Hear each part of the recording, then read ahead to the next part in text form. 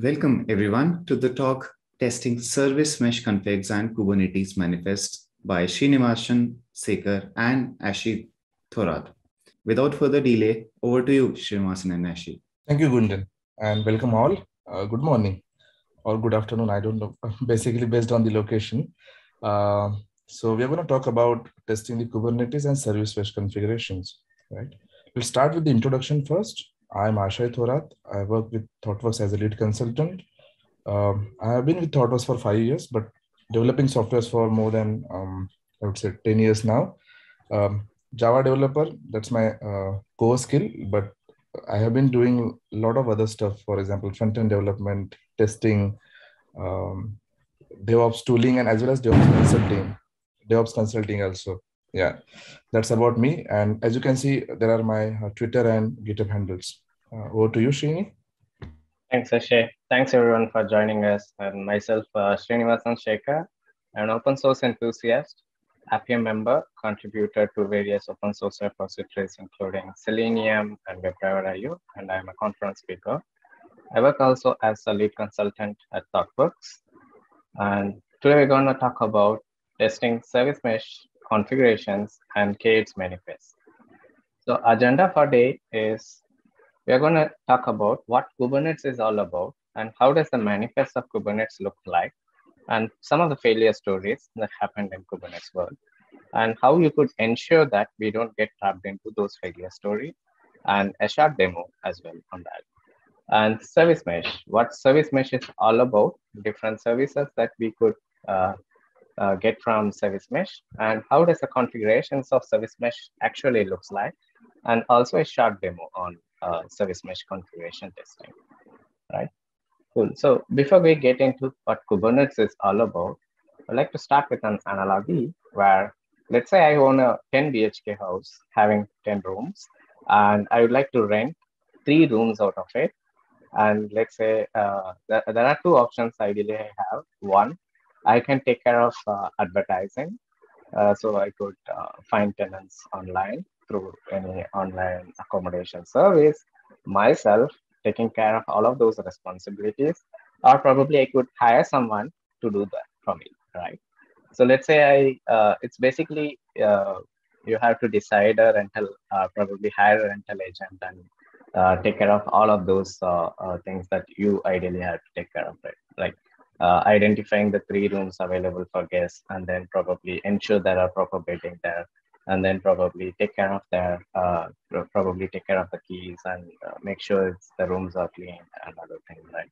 So there are two options whether you do it everything um, i mean you do it everything or probably hire an agent and they takes care of it. And how they do it probably they might have their own employees which could help you taking care of uh, uh, probably one takes care one of the employees takes care of uh, cleaning one of the employees take care of preparing food uh, another one might take care of uh, logging who has came in who has came out what time they came in and what kind of foods they have ordered and all of those things right? So how does it relates to kubernetes? Exactly right? So uh, the agent who takes care of all of those things is what kubernetes going to take care of everything uh, related to configurations. I mean, spinning up uh, proper. Uh, I mean, you, when you wanted to deploy a service, right, you have to tell Kubernetes that uh, it's one of an orchestrator, container orchestrator. You have to tell it that how many number of pods you wanted to run and what's the resource that you wanted to allocate to the pod, right? So that's about that's about what Kubernetes is all about, right? So uh, what so you just say Kubernetes uh, containerized application and you just say uh, Kubernetes that I have to run five replicas and each with two CPUs and three gigs of RAM and it takes care of orchestrating everything. So similar to Kubernetes, there are a lot of container orchestrators available and we are going to focus only on Kubernetes today. It helps us to orchestrate the containerized application and by spinning up the number of pods that you want and allocate certain resources that you have asked it to do so. How you could do it, how you could instruct Kubernetes to do that, right? You have something called a manifest file. So Kubernetes workloads are actually described in this YAML manifest, and there are a lot of kinds of manifest file, and we have two different manifest file here. One is a deployment manifest, another one is a service manifest, and we have a sample of those manifests here. In deployment manifest, you uh, probably tell that this is the container, I mean, this is the image, and this is where it exactly resides in, in the container registry. And then this is the port that I wanted to assign to the container port. And in terms of service manifest, we just say, I mean, we say the name of the service and you assign certain metal, I mean, uh, you certain uh, probably assign some labels to that service and uh, you assign port numbers that I mean port number that it has to bind to in terms of tag and also the protocol in terms of communication. So on a high level, this is how the Kubernetes manifest exactly looks like, right? So that are when we define this as an infra consultant or a developer or QA who defines this can uh, uh, probably there are high chances that we could do certain mistakes when we are defining Kubernetes uh, uh, manifest. To give you an example, let's say we haven't provided the proper target port for your service. So you might not be able to see the service available for us to use. Or if you say uh, there are chances that you might end up, uh, in, I mean, you might end up uh, creating some security loopholes. Probably, let's say you have uh, deployed a Kubernetes manifest in your development environment, enabling privileged access, and then pushed it the same configurations to production, enabling the privileged access for the container. So it introduces a security loophole for you, right? So there are high chances that a lot of things can go wrong when it comes to Kubernetes manifest. And there are tons of failure stories available in market. To, there is even a website to list down what all uh, failure stories that different organizations have gone through, right?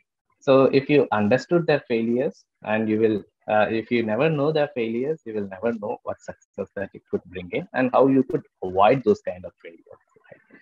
So uh, to give uh, to give another uh, example, probably quite recently, Facebook went uh, for almost more than six hours, and uh, the configuration that took a task there. So probably they would have tested everything, and they might have not tested. Probably they tried to test everything in deploy. I mean, in production, just because of a configuration change, you might have huge business impact. It might take off your brand value as well in matter of few seconds. It's not just that application code resides in production, it goes along with its own configuration. So as like how we give importance for testing your application code, the business logics in it, uh, it also, uh, I mean, we have to give equal importance in testing the configurations that sits along with application code as well, right? So only if you make sure that these two coexist and works together very fine, then you could ensure that things goes well in production too. And there are a lot of failure stories, which I would like to uh, defer it for now, but there are a lot of wonderful stories as well in terms of how Kubernetes solve problems for different organizations too. So actually you being working on Kubernetes for quite some time, so what are the some uh, what are some of the failure stories that you encountered or some of the best practices you make sure that you don't get trapped into those failure stories. Can you list out some that you have? Uh, yeah, thank you, Srini. I think probably the failures are pretty common. I think you mentioned some of them, right? Configuration errors. And I think most of the developers who are using Kubernetes might have been in that position where you make some mistake and then you realize it when you deploy it, right? It's quite late uh, to, that's quite late feedback basically.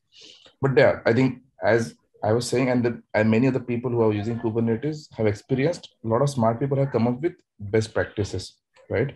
So the kind of there's a list of best practices you need to follow when you are working with Kubernetes. And if you're a developer who has access to Kubernetes manifest, yeah, these are the practices you must know and try to follow them. So to list some some of the few, I think the first one I would like to talk about is health checks.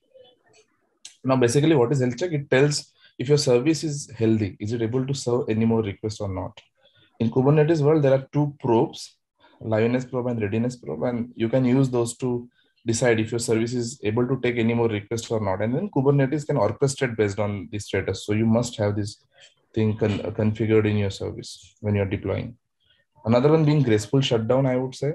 Uh, so we use containers in Kubernetes, right? And they are throwable, throwaway, disposable.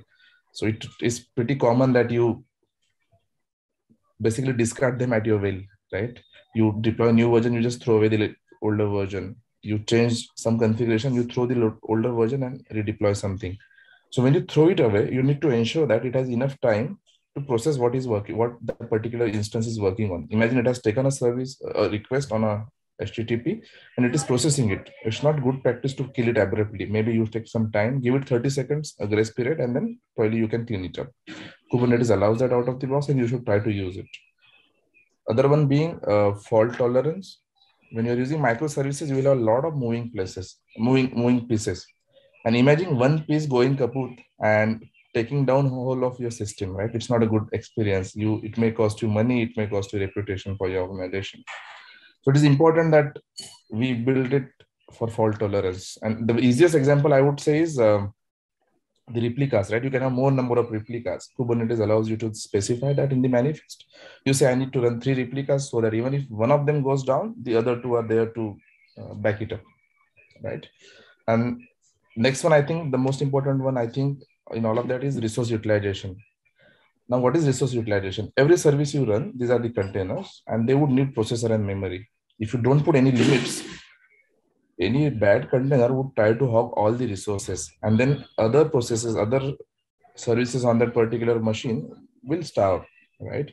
It can bring down your node. It can have. It can lead to outages. So it is very important that you put a limit on what can be consumed by a particular service and that's basically about resource utilization. Kubernetes allows you to do that, and you must specify that. That is one of the good practices.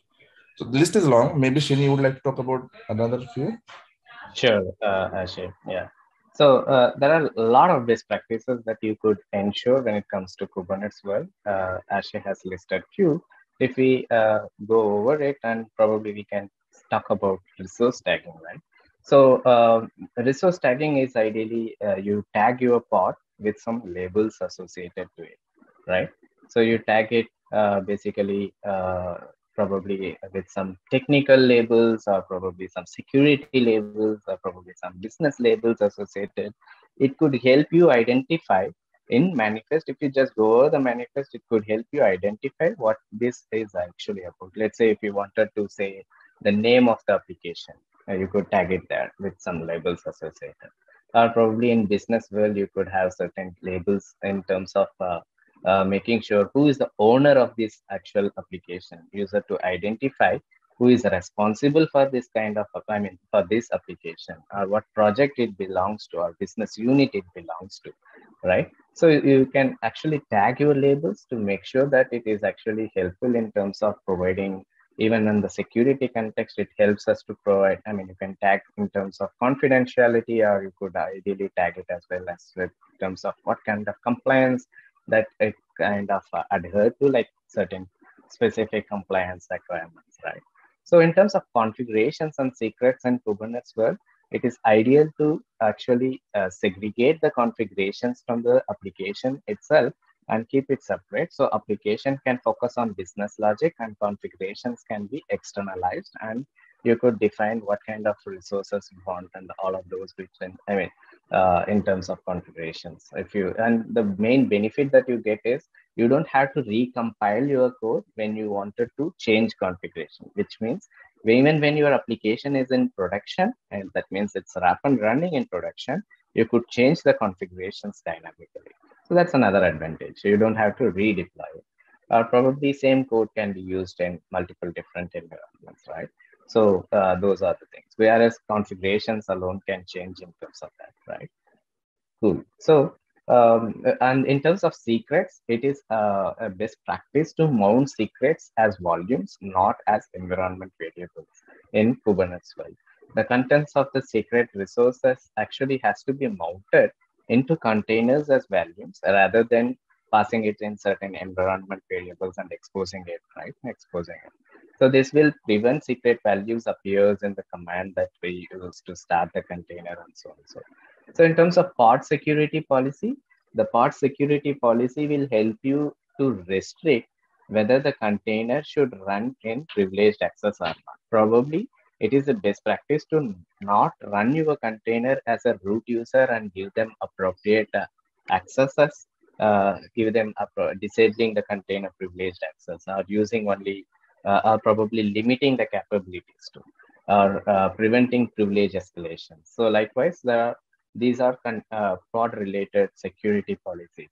In terms of namespaces, you can uh, actually define limits in terms of namespaces. So these are some of the uh, some of the best practices that we actually captured here. Then there are a few more, and there are a lot more. And but the ideal scenario is how do we make sure these best practices are actually ensured over a period of time, right? So let's say I'm playing around with my manifest file and then I just uh, accidentally moved it to production without validating it, right? So it could take up your complete business value out of it, even though the application tend to work fine in local and end to end, probably everything, right? So a simple configuration change can mess up everything. So you need to have appropriate checks around these best practices. When you uh, when I say you need to have appropriate tests around this uh, Kubernetes manifest. So one of that probably to start with is basically you can ensure whether if the YAML structure is proper, whether the YAML is actually uh, described well and it's proper or not. And another way is probably to capture certain policies. Some of the policies probably, if I, if I could give an example, one of the policy could be, I don't want my run container to run with privileged access. I don't want to pull secrets. Uh, uh I mean, I don't want to uh, keep environment variables as secrets. I can probably mount always as volumes. That's one of the policies. Likewise, you could define your own policies and make sure that these are actually tested even before you go to production. So after going to production and figuring out something, probably takes its own cost, right? So the feedback cycle is also huge. So there are a lot of things that you could ensure even before you deploy these configurations. So introduce, introducing a static checks, uh, I mean, against the deployment manifest that you have created with certain policies will help you uh, uncover a lot of errors even early in the development cycle. And there are a lot of ways to do it. Some of the categorizations here is like API validators, built-in checkers, custom validators.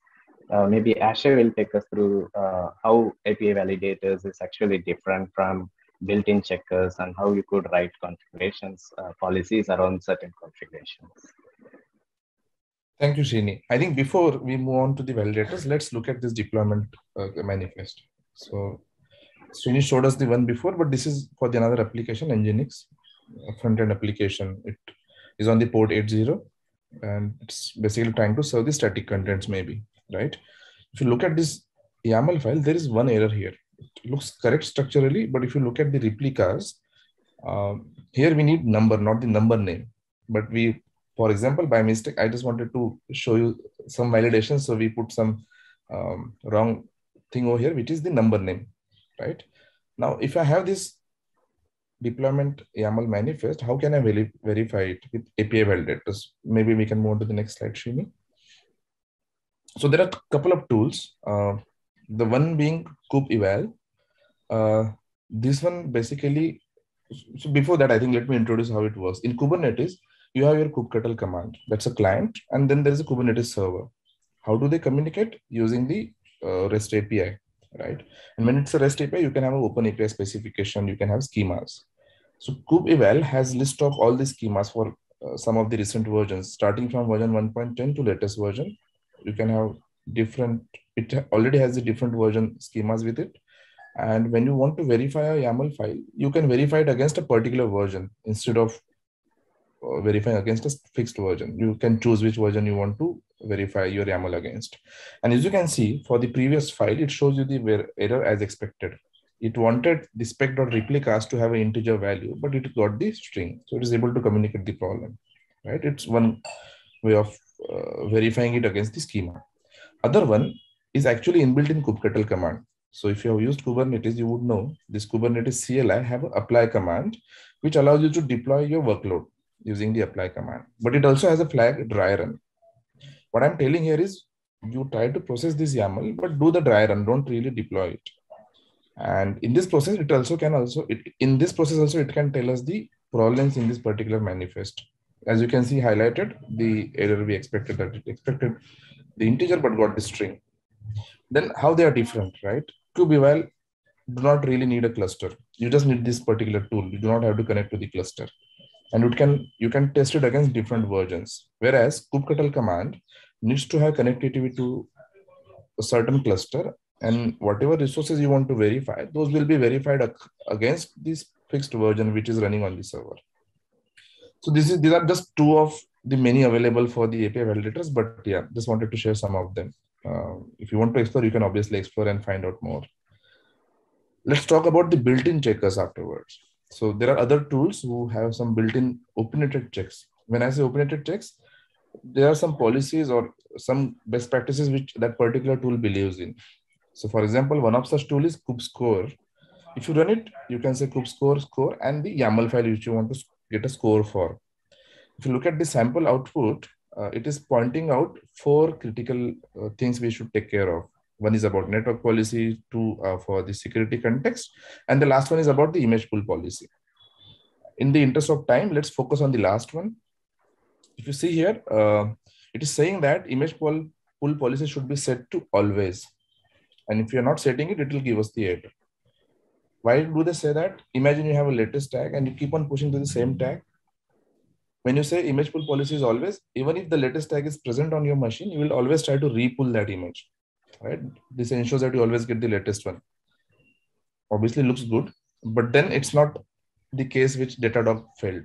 Datadog, uh, the leader in the um, observability, they have publicly mentioned one issue where they used to have image pull policy as always that actually one day got their cluster down. Their cluster tried to pull so many images from registry that registry thought it's a DDoS attack and blocked them. Right. So one fit, one size will not fit all. Right. So uh, how do you solve this problem then? If there is opinionated tool, you might your team might have a different opinion. How do you solve it? I think that's where uh, some of the other ones comes into picture, which is the custom validators. The tool. Let's look at the screenshot. This is the Rego language uh, and the tool we are talking about is Conftest, which is able to run the policy checks. What you see in the screenshot is we are saying if I have an input of kind deployment, the YAML file is of kind deployment, I want to get all the containers. And for each container, I'll check if liveness probe is defined. And if it is not defined, I'll deny. I'll deny this policy. I'll deny because of this policy. So that's how this particular test runs. Okay. Conftest as a tool do not really only work on the Kubernetes. It can work on any structured data, your Terraform files, your um, Docker file also, or even a response from any API or JSON file. It can even check that. So it's a general purpose uh, structural checking tool. Um, I think maybe let's try to understand more about Conftest. A quick time check. I think we are almost 20 minutes, right? Um, so let's talk about how Conftest works behind the scene. It is based or it is built on top of something called as open policy agent. Open policy agent, as you can see in the diagram, is a decision, it's a policy decision engine basically. And it allows you to decouple all your policy related stuff to, a, to this particular engine. You can delegate all this uh, policy, policy enforcement to this engine. How can you do that? And how it is general purpose and unified tool? Let's look at the diagram. If you look at the bottom of it, there's a policy file and then there's a JSON, uh, JSON data. What I'm saying, when I have this data and I have the policy, let's OPA can check for us if the data conforms to the policy which is defined. If not, it will tell us the output. At the same time, at the top, if you see there's a service. So it is pretty common that you have authorizations in the microservices, for example, role-based access control, right? So you can also define those kind of rules in OPA and then your service can talk to OPA to ask if these are the conditions, should I go ahead or not by the policy? So your service is not worrying about the policy now. It's OPA who is making all the decision. You can offload it. You can manage it separately for all the policy related stuff. That's how it is a unified tool, which actually works across the different uh, tools across the cloud stack. Yeah, that's about policy agent. Maybe we can go on to the next training. And over to you for showing it to us how it works. So let's say a quick demo on how does this uh, policies are actually defined and how we could ensure these policies are actually uh, being adhered in the uh, deployment YAML, right? So I have a deployment YAML here. So it's quite simple. And what we are defining here is we have a container and the image where I need to pull this data image from and the container port is assigned here. And we also have a security context to ensure that we are not running it as a root user. So I'm saying here run as a non-root user and I don't provide any privileged access by default. So if you have to build policies around this deployment YAML, right? So uh, the, uh, ideally you could say always run uh, with non-root user as true. Don't run your container as root user. Uh, probably don't provide privileged access to containers maybe when it is running. And if you look at the image, probably you can also say uh, the container registry that it has to exactly pull that from. Probably you might have container your own container registry and you wanted to pull the image exactly from your own container registry. Or probably you could say uh, I don't want to pull images which with uh, which is with the tag latest, or probably I wanted to have certain versions instead of having it as the latest. So you have certain policies. You could define certain policies and make sure that these policies are actually being tested against this deployment YAML to ensure that even before you goes to production and then figuring, I mean, goes to deployment and then figuring out things in the environment, rather you could do that upfront and ensure that we are adhere to the certain policies. So as I said, some of the policies, the way how we have written it in written it in Rego, you could see it here, wherein you say, let's uh, say input of kind deployment, and uh, I'm going to get all the container images. So I just traverse through this path and figures out the container is an array and get all the image names out of it. That's what I do here and line number five. And make sure that if uh, I mean, uh, I, I just checks whether the image has a tag called latest, right? So if I found this tag, probably I would say that uh, deny such, I mean, deny such deployments to go forward. So images should not be ideally tagged as latest. And probably if, if you define that as a policy, we should adhere to this upfront, right? Uh, I mean, we should check this upfront. And another policy is about, again, checking whether the kind is of type deployment. As, as we have seen previously, right? Uh, there are two different types of manifests we had. One is kind deployment kind, and another one is service kind. We have other kinds of manifests as well. So we wanted to apply these policies only if the kind, uh, the manifest is of kind deployment. And we are saying that if, uh, I mean, again, traversing through the path, and we are saying that the privileged access is ideally, if it is true, then deny such uh, deployments to happen. So it's not about Kubernetes. I mean, it's not about Conftest. It's not about Rego. You could ideally define this in any tool, but have your own opinionated checks and make sure that it's actually bubbled within the team and ensure everyone is following the standard. So this will help you to define certain standards as policies and ensure that these policies are actually adhered. There are chances that you could change it to latest at times and then try to deploy it. Or probably you might have, you might be running it in privileged access and try to move that to production. Again, you will uh, introduce a security loop for that, right?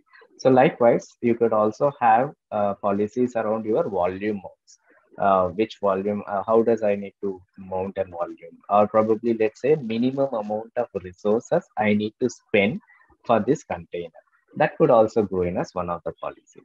So now that we have certain policies, let's see how we could run these policies using Conftest. So we have saying Conftest, just print it in JSON format as output, and this is where my policies exist, and this is the manifest file that I wanted to run it against. So if you see this, we're saying that there is one successful and another policy that run for a task because the image is tagged with latest.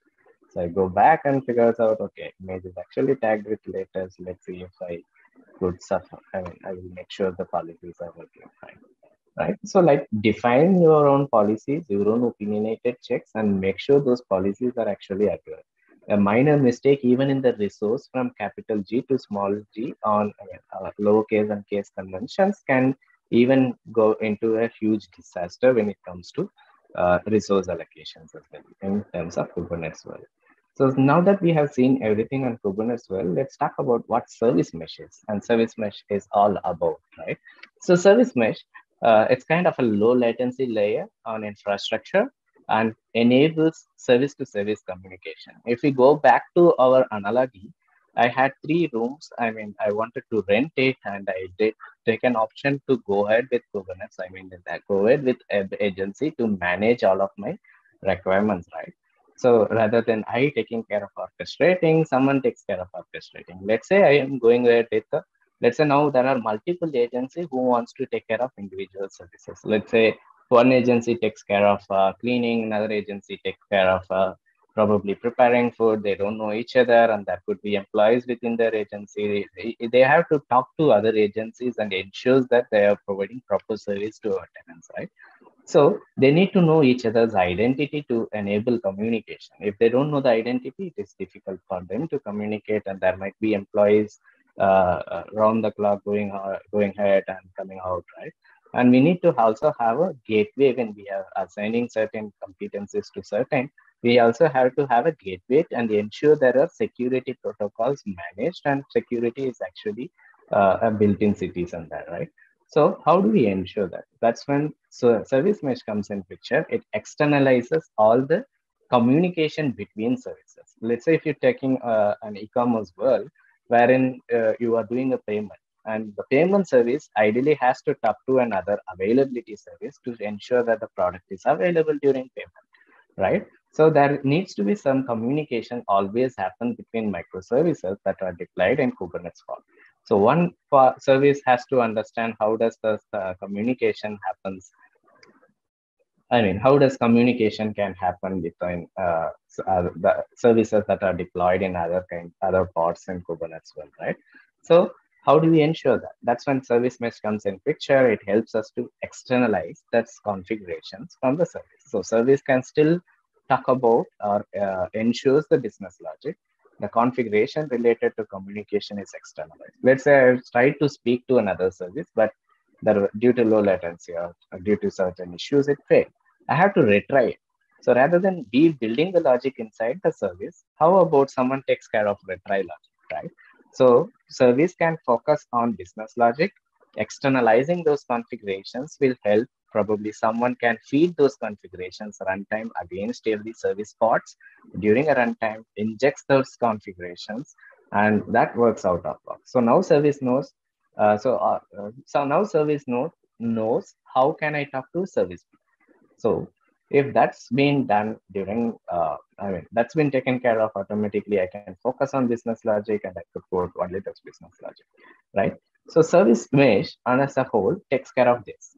So service mesh ensures fast, reliable, secure communication between microservices, and it also provides a lot of other features as well.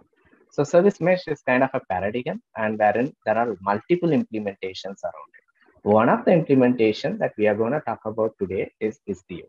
And uh, paradigm is common and implementation is something that we have picked up and we are going to talk about Istio's architecture now.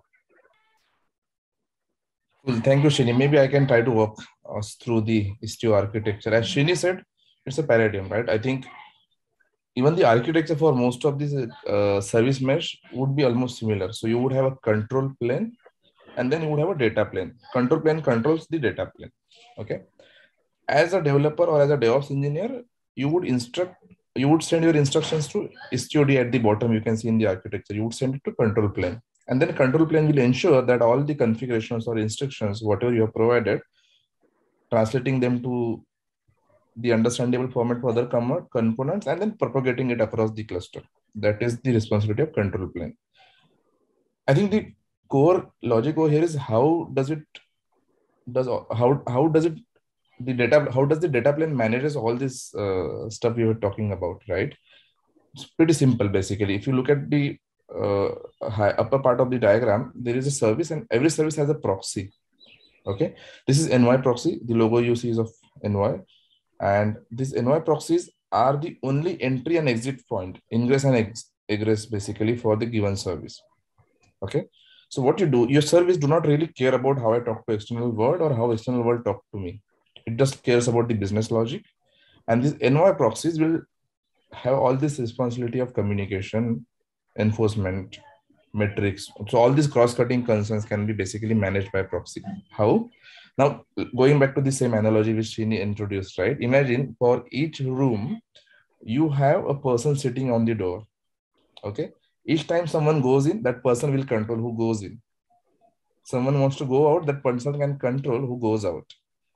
And when you are able to track that, you are able to also able to count how many people went in, how many people came out you got the metrics right when someone is coming in you can ask them from where you came when someone is going out you can ask them where you're going that way you got the tracing that is another cross-cutting concern At the same time, the person can maintain the register for all the people coming in, going out. You got the logging, right? So this way, all these cross-cutting concerns along with the network traffic and routing can be managed here. Also, imagine a person wants to visit another place and he asks the person, uh, there is someone in the room, he wants to go out and he asks, how do I reach service B? And the person tells, okay, if you have any message, give it to me, I'll pass it on. That's how that process text offloads the routing part also, right? So that's the architecture at high level. Maybe we can, I think, move to the next topic. So there are multiple things you can achieve. One of the pretty common use case which you can achieve with uh, service mesh like Istio at really less efforts is canary deployment. But let's try to understand what are canary deployments first. Suppose you have a website, it's uh, pretty famous, right? Everyone likes it. But then there are some features you want to add. You worked on them. Now you have pretty much more features. You feel it would add a lot of value to your service or your website. But if you just say that I'll bring down the version one, I'll deploy the version two, and imagine there's a bug, there is some problem, your website will go down, right? That's a risk so to mitigate that risk, what you could do is you can do canary deployments. What it means is you slowly route the traffic. When you introduce a new version, you only send some percent of the traffic over here, get the feedback, look at the logs, everything looks okay, start increasing the percentage, and eventually V2 will start serve all the traffic and you will shut down the V1. That's how the canary deployment works maybe let's look at the sample uh, configuration, how you do it in Istio. This is just, if you look at this YAML configuration, by the way, it looks almost similar to the Kubernetes structure. And they do follow similar structure actually. Here, the kind is virtual service. And what I'm saying is in this virtual service, if you look at the destination, I'm saying I want to route traffic to hello world. And if it is subset V1, send some traffic over there. If it is V2, send some traffic over there. By the way, do you see some error over here? Right? If you look at the weights, that is the percentage. If I say send 90% to both of them, that means in total it is 180% of traffic, which is wrong. You would have only 100%. So there is something wrong over here. And this is one example of how what can go wrong in your configuration. You would realize it, it is wrong when you deploy. But is there a way to get early feedback? Yes. Again, the same toolset we can use to get the early feedback. Maybe Srini, you can walk us through. Sure. So if we pick the same service splitters, so you see that. So how we could define policies around this service splitter, right? So one of the policy could be that host name has to be same for both the versions, right? So that's quite simple. And probably weightage has to be uh, probably 100 and it shouldn't be above that, right? And what and also the versions has to be different. It doesn't make sense to give same versions and then route 10% here, 10%, I mean 90% there, right? So these are some best policies.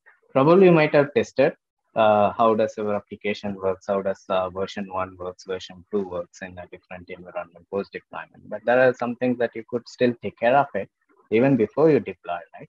So these are some policies that we have defined. Probably let's quickly go through those policies. See, so one of that is a virtual service. Let's say I'm defining the first policy wherein the kind is of type virtual service. And I define, I mean, I get the current post and canary post and ensures that they are same. If it is not same, then I deny them, right? And next policy is about, again, I'm checking whether it's of kind virtual service and get extra, I mean, I extract the weights from routes uh, I mean destination routes and assign it to current and canary and ensures that it is not actually greater than 100. If it is greater than 100, I also deny those, uh, those deployments, right? So how we could ensure this? I mean, how we could make sure that these policies are actually being adhered in the splitters.yaml. So if you look at this, one of that is successful because the host names were quite same. And another failure here is the service splitters can be actually greater than 100, which is not possible, right? So how what does it? Uh, how we could ensure that instead of uh, uh, uh, I mean, you can define your own customized policy checks. Uh, there are you can define policies even for service discoveries. How can a service be discovered? For example, let's say service A has to talk in this way. To, I mean, service A identifies it in service B, and then how does it needs to talk to? All of those can be defined as policies and make sure these policies are actually tested against service splitters or service discovery YAMLs in uh, Istio code, right? So this is a way that you could help ensure that even before you deploy something to production, And uh, I mean, even before you deploy something to production, you could ensure that most of these uh, small, small nits can be verified upfront rather than uh, deploying it and then waiting for the service to be uh, uh, receiving request. And then uh, this is something that you tend to change often, right? You play around with configurations in service splitter. One time you might go with 50 requests and probably 50, 50, and then 10 to 90, all of those bit, right? So this helps us to this kind of policies helps us to make sure that uh, the deployment YAML or the service splitter YAML or be it any templatized configurations in your application. So it's not that you send only application code to production, right? We send it along with its own configuration. For example, in terms of service splitter, we might have to ensure in uh, we might have to ensure that the logics are actually fine against the service. I mean, in visual versions as well, right? That you will do it in probably post deployment or probably in a, another life cycle of uh, tests, right? Probably here we are just ensuring that there are certain policies are opinionated checks that we have actually defined and we are ensuring that, right?